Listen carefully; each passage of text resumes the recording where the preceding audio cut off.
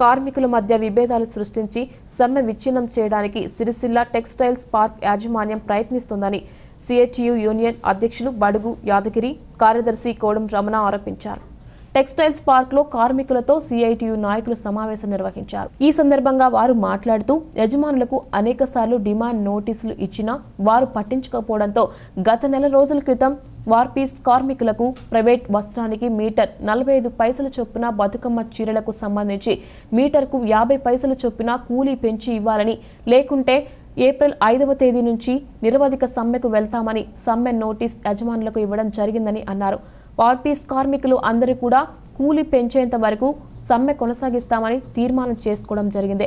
ఈ కార్యక్రమంలో బొద్దుల సదానందం చాట్ల శ్రీకాంత్ లక్ష్మీపతి నరేందర్ నరేష్ పురుషోత్తం అశోక్ కమిటీ సభ్యులు కార్మికులు పాల్గొన్నారు.